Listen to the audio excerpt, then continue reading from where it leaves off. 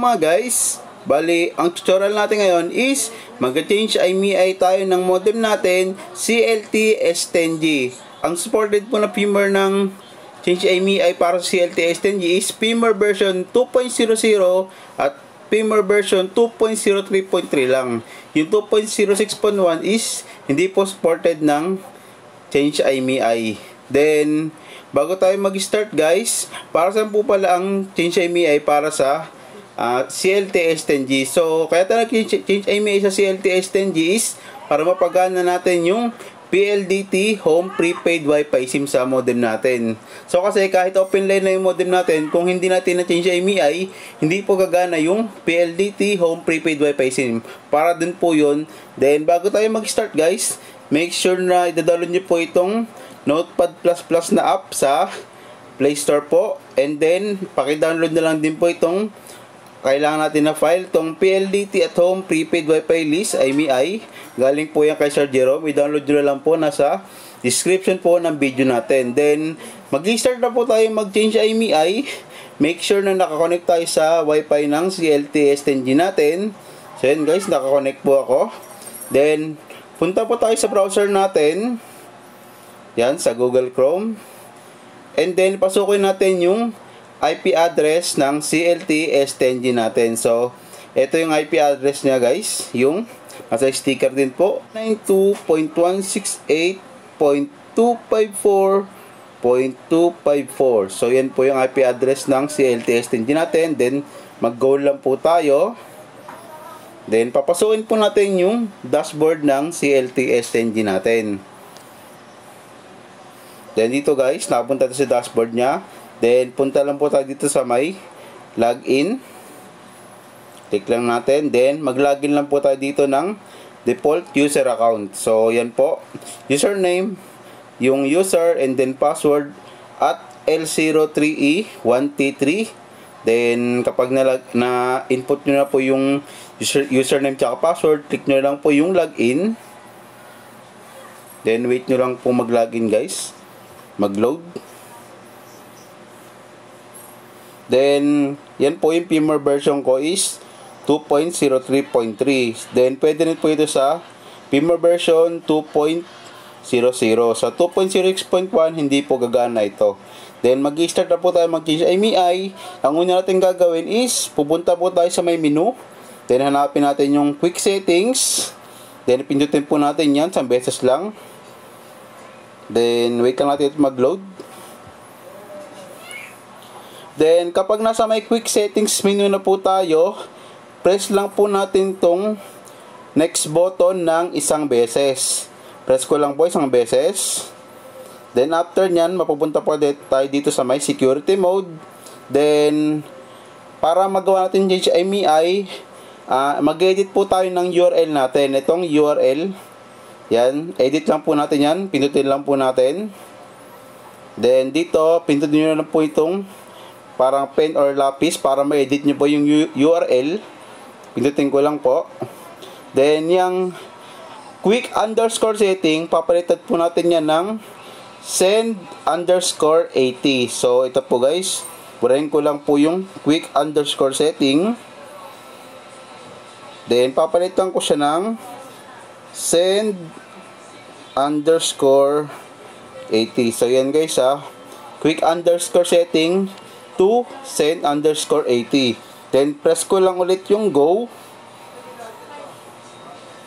Then, dito mapupunta po tayo sa may 80 menu. So, dito po natin gagawin yung pag-change IMEI ng modem natin.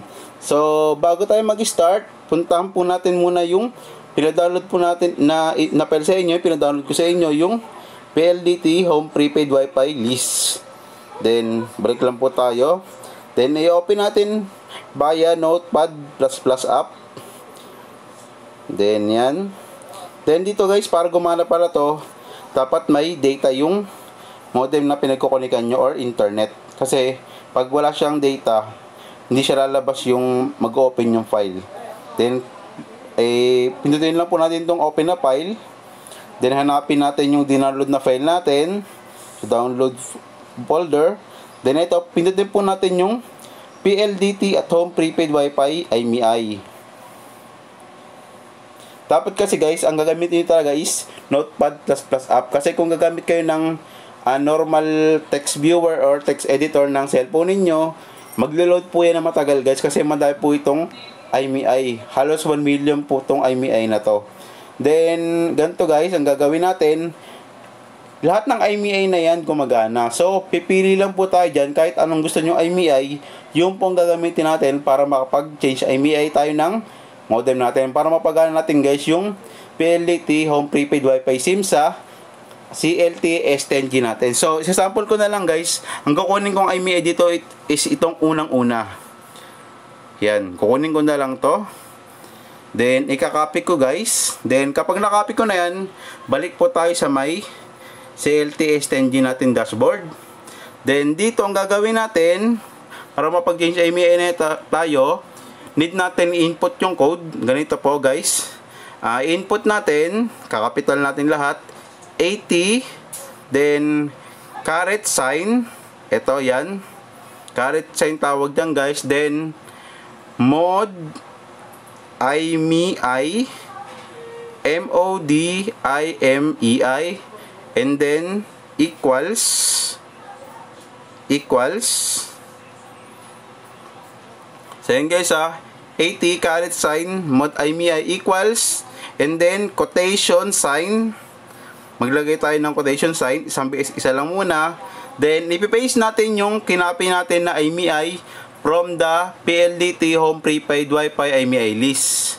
Paste ko lang guys. So yan then after ko dyan ma-paste guys sa pinakadulo nyan lalagyan ko rin ng quote ah uh, isa pang quote yan. So yun guys, tandaan nyo guys, ayun yung code. 80 caret caret sign and then mod IMEI equals code sign then yung 16 digits IMEI from PLDT home prepaid wifi list and then code sign ulit sa dulo. Huwag nyo kalilimutan yan guys. Kapag kinulang ng yung code natin, hindi po gagana yan. Then after nyan, ang gagawin natin is pe-press natin itong send. Dapat kapag na-press natin yung send, may lalabas po dito sa sa dashboard na to na okay yung IMEI na linigay natin. Press ko lang po to guys itong send. So yun guys, napansin nyo, mode IMEI tapos yung IMEI nilagay ko and then okay, it means successful yung pag-change IMEI natin ng modem. Then balik tayo guys sa may uh, home. Click ko lang yung home. Then, ang gagawin mo natin una is, para pumasok yon So, dito, click natin yung restart device. I-reboot muna natin yung modem natin para pumasok yung IMEI na in-input natin na bago. Then yan guys, wait lang natin mag-reboot yung modem.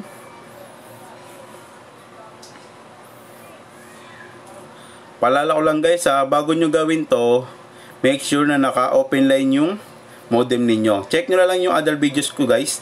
Meron naman akong tutorial na kung paano mag-open line ng version na 2.00 and then version 2.03.3. So, tignan nyo lang po sa ibang video ko. Wait ko lang mag-load tong wifi. So, yan. Nag-open na ulit. Then, click nyo yung okay. Click natin yung okay your logout please login again click nyo yung okay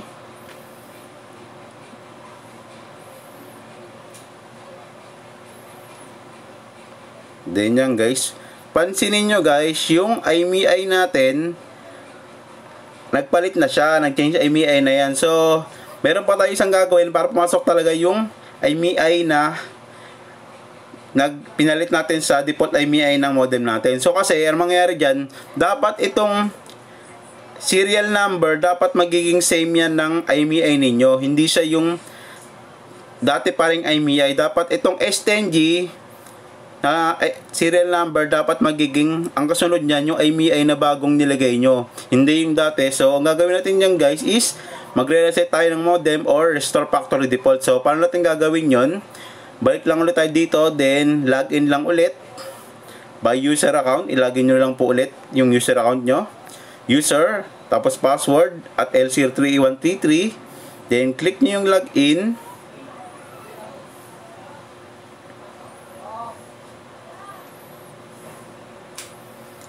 And then, punta kayo guys sa may system settings.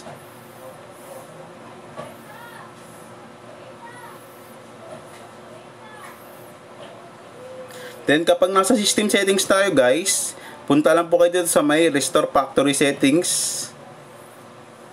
Then click nyo lang po itong reset factory settings para mag-load yung default ng modem natin. Factory default.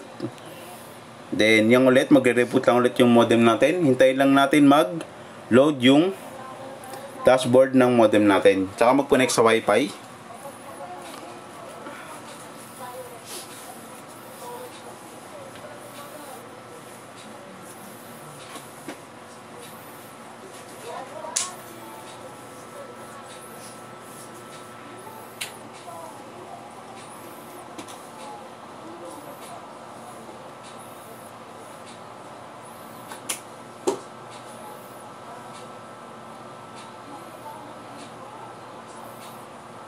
Check ko lang yung wifi guys kung nag-open na siya. Yo, yan. Connected na ulit.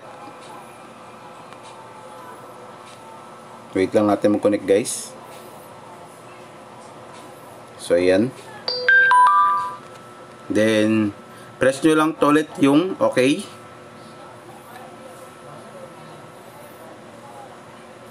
Then, wait natin mag-refresh yung dashboard. So, pansinin nyo guys dito, pareho na sila ng uh, IMEI yung IMEI tsaka serial number. Then, ang gagawin nyo lang guys, pwede nyo nang patayin yung modem ninyo. Then, inputan natin ng PLDT Home Prepaid Wi-Fi SIM kung gagana siya. Patayin ko lang guys muna yung modem. A few minutes later. So yun guys, na off ko muna yung modem and then pinilitan ko ng PLDT Home Prepaid Wi-Fi SIM. So, iti-check natin guys kung gumana na yung uh, ah, PLDT Home Prepaid Wi-Fi SIM sa CLTS 10G natin.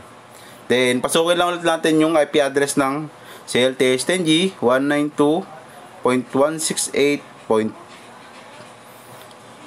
192.168.254.254 Then press na natin yung go. Dapat magkakaroon na ng signal yan.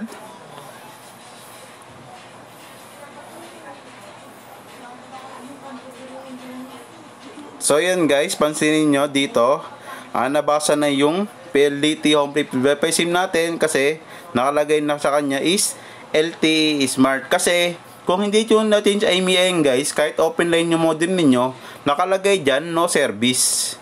Kasi uh, ano, IMEI based kasi ang mga gunya like Global Home Prepaid Wi-Fi SIM tsaka PLDT Home Prepaid Wi-Fi SIM. So dito naman ngayon, hindi naman siya gagana yung stock SIM card ng modem na nyo. Yung Global Home Prepaid Wi-Fi SIM, bali ang gagawin nyo is, ibabalik nyo lang po yung IMEI sa dati, yung default IMEI ng CLTS hindi nyo, nasa sticker lang po ng modem niyan, yun na lang po ibalik nyo para gumana po ulit yung Global Home prepaid wifi SIM nyo. Then, dito guys, login lang tayo dito ulit. Login. Then, balik tayo sa may user account. Login lang ulit tayo dito. Then, user, and then password at L03A1T3, login. So, ganito minsan may issue guys. Nagtatanong ng iba, bakit po nagawa ko na pa yung change IMEI nyo, pero hindi pa rin po binabasa yung PLDT home prepaid wifi sim ko. So, ganito yan guys. Wait lang, i-reload ko lang yung page.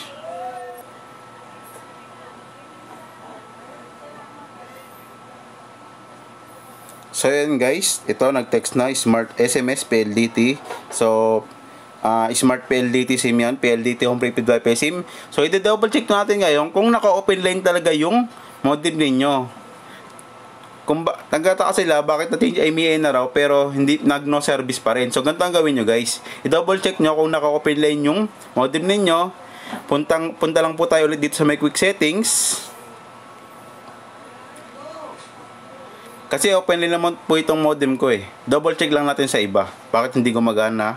Then, press lang ulit natin yung next button isang beses. Then, dito, pag nasa may security mode na tayo, edit lang po natin yung URL. Click ko lang po ito. Then, pindutin ko itong pen button. Then, itong quick underscore setting, papalitan lang natin yan ng MCC underscore MNC underscore locking. So, yun guys ha, yung quick underscore setting, palitan natin ng MCC underscore MNC locking and then press natin yung go. So, ito makikita nyo guys, MCC MNC locking. So, dapat makikita nyo yung MCC MNC code na yan, yung 51502, 51503. Ah, balik kasi to guys, itong MCC MNC code na tong 51502 para sa Globe Globe TM Gomo Sims. And then next, yung 51503 para sa Smart Token Tech Sun PLDT Home Prepaid Wi-Fi SIM. It kasi itong 51566 para sa dito SIM. Then, gawin nyo lang guys, pag wala nyan, ang gawin nyo, mag-add na kayo ng PLMN, then click nyo yung apply. Or, ang gawin nyo lang, mas madali, kahit wala yung MCC, MC, MNC code na yan, click nyo lang po yung disabled, and then, click nyo lang po yung apply. So it means kapag gumana na yan, open line na po yung modem ninyo. Yun po, yun lang po yung tutorial natin. Pang double check lang yung uh, MCC code, yung pang open line na code. So, click tayo sa home. Then yung guys ha, pag gusto niyo lang ulit gamitin yung Globaton prepaid wifi sim nyo, balik nyo lang po sa default IMEI, yung nasa sticker po ng modem ninyo. And then kung gagamit lang naman kayo guys ng regular regular Globe prepaid SIM or TM, Gomo SIMs, kahit hindi nyo na po ibalik yung default IMEI. Uh, kahit yung PLDT Home Prepaid Wi-Fi IMEI, gagana po yan. So, yun lang guys yung tutorial natin ng pag-change IMEI ng CLT S10G firmware version 2.00 at then firmware version 2.03.3. So, maraming salamat sa panonood guys.